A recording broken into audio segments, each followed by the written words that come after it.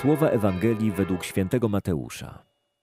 Jezus, widząc tłumy, wyszedł na górę, a gdy usiadł, przystąpili do niego jego uczniowie. Wtedy otworzył swoje usta i nauczał ich tymi słowami: Błogosławieni ubodzy w duchu, albowiem do nich należy Królestwo Niebieskie.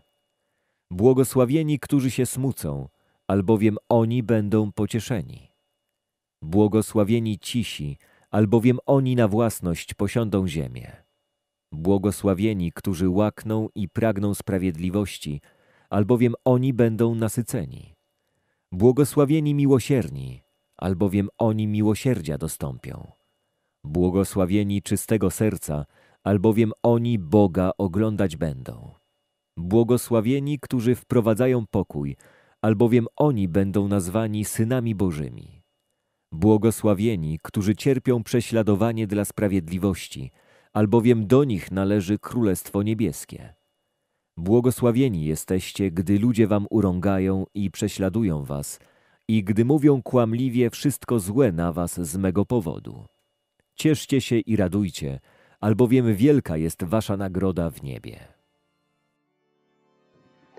Osiem błogosławieństw to dobra nowina w pigułce.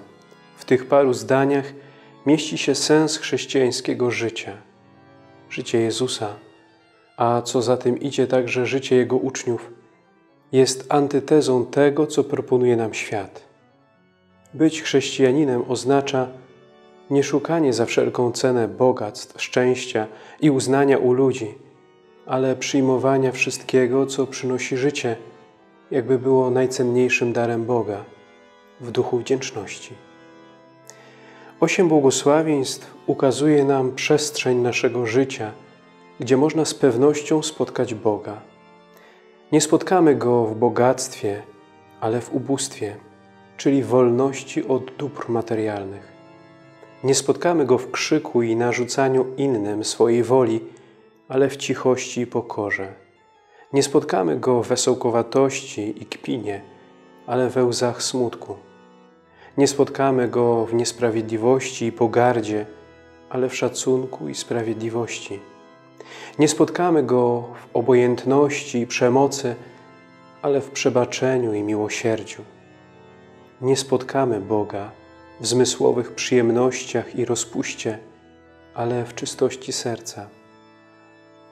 Nie spotkamy Go w gonitwie szczurów i walce o swoje, ale w potrzebie i pragnieniu pokoju.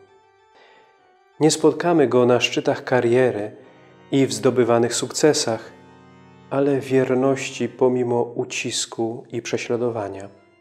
Świat wmawia nam, że przetrwają tylko silne jednostki, bogaci, przebojowi i wiecznie młodzi ludzie sukcesu.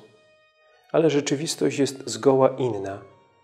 Świat nigdy nie da prawdziwego szczęścia. Może dać jedynie jakąś namiastkę szczęścia i tylko na chwilę, a potem pozostaje pustka i rozpacz. Droga błogosławieństw to droga wiodąca do świętości, czyli wiecznego szczęścia.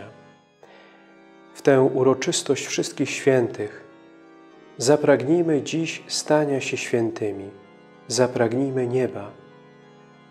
A program, który w dzisiejszej Ewangelii nakreślił nam Jezus, niech stanie się programem naszego życia.